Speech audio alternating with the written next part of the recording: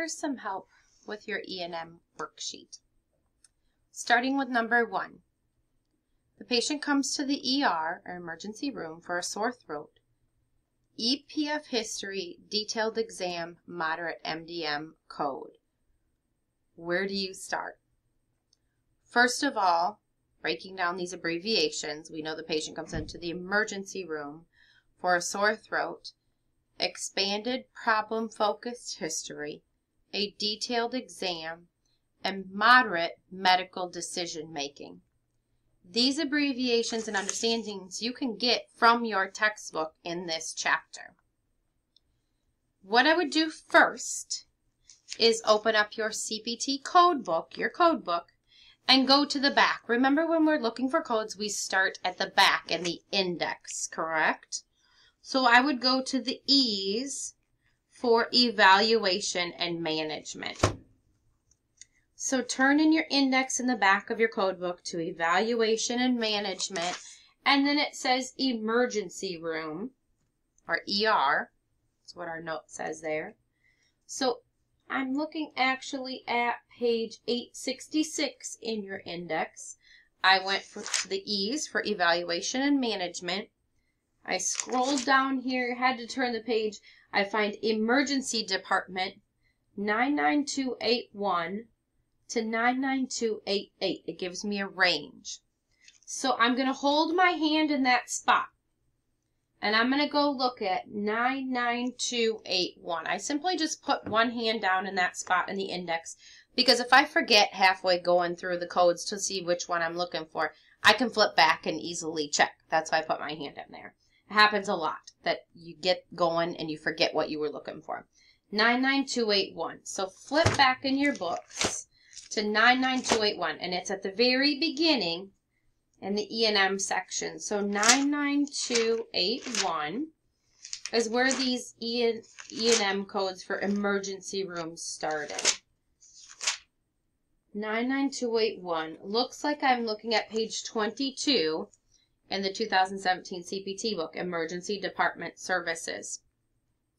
The patient comes into the emergency room for a sore throat, expanded problem focus history, detailed exam, and moderate decision making. When I'm looking at my emergency department services or emergency room, emergency room is what the um, worksheet says, emergency department is what CPT goes by. It says new or established patient, and we had written an either there. So it doesn't matter, first of all, what type of patient we have. That's good. We don't need to worry about that. Where we go to next is this form right here on the right side of your screen. And this form came directly from the shared files in your class. Okay? Let me see if I can show that quick.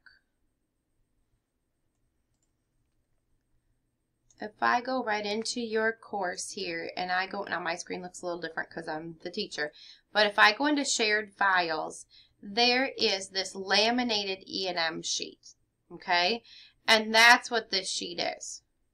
We've got the worksheet and the laminated sheet both up together, okay? Use this laminated E&M sheet.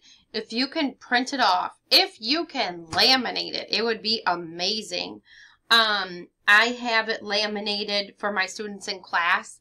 Um, I don't know how to get it to online students, uh, so I just give it to you in the shared files and kind of let you do what you want with it. Um, but we definitely use this form all the time when we're doing a homework. You can use this sheet when you're doing uh, your exams. I let them use it right when they're face-to-face -face in class as well. So with looking at number one, trying to figure out where to go from here, we go to emergency rooms. Okay, so this is office, just kind of how to read this sheet. These are tables. Office visits, new patient, must meet three of three.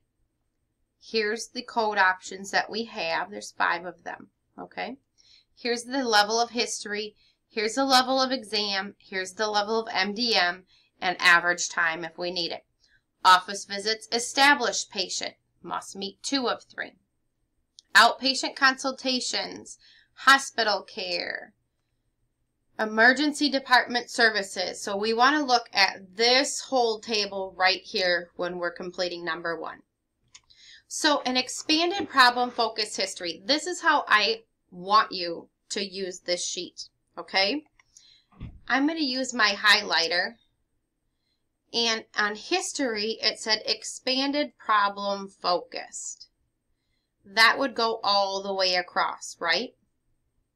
Okay, here's problem focused. Here's expanded problem focused underneath this column, 99282.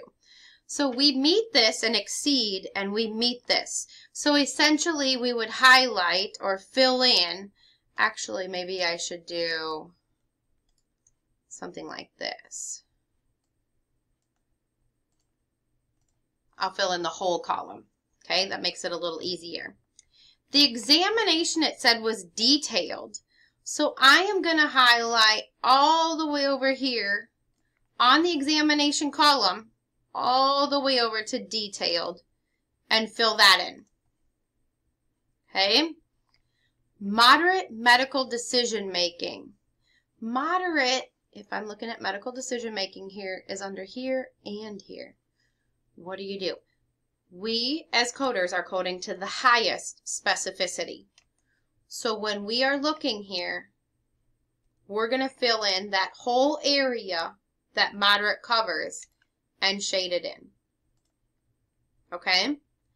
So right now for number one, I have all of these highlighted or filled in. We have an expanded problem focus history. Actually, I did that with history too. Expanded problem focus goes all the way across. What was my mistake there? We have a detailed examination, goes to right there. And we have medical decision making that was moderate. And we go all the way across and we stop there. Now looking back up at this text here and this box, it says it must meet three of three. Well, which column do we meet all three requirements? We meet, yes, 99281 is completely filled in. But so is 99282. And so is 99283. 99284 meets two of three.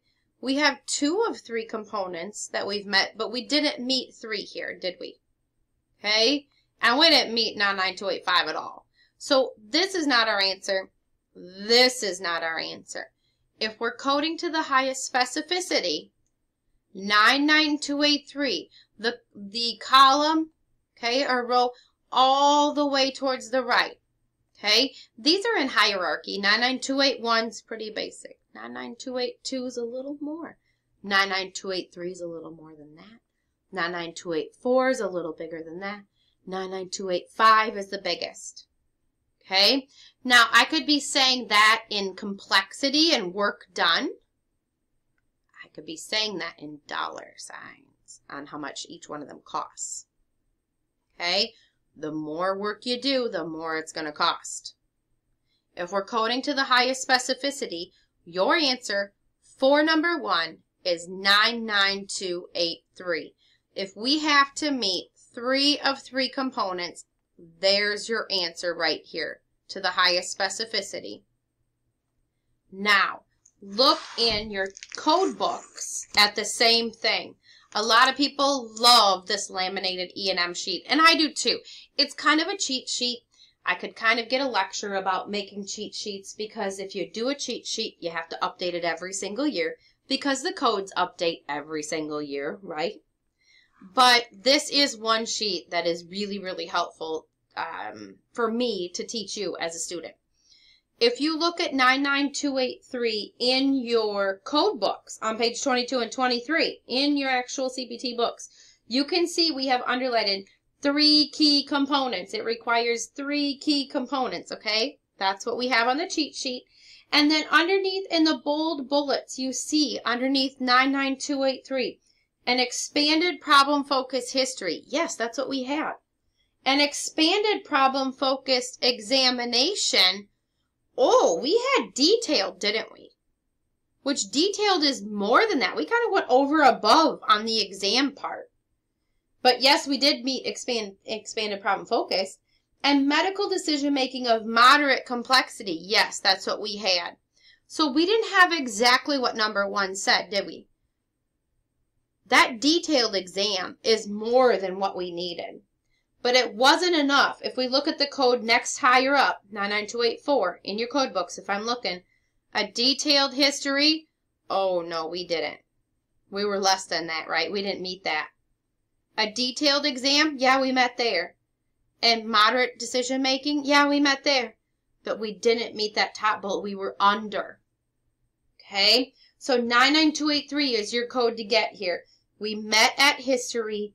We met and actually exceeded at exam, but it wasn't enough, right? And we met at moderate complexity. I hope this video helps you. Let me know if you need more. Thanks.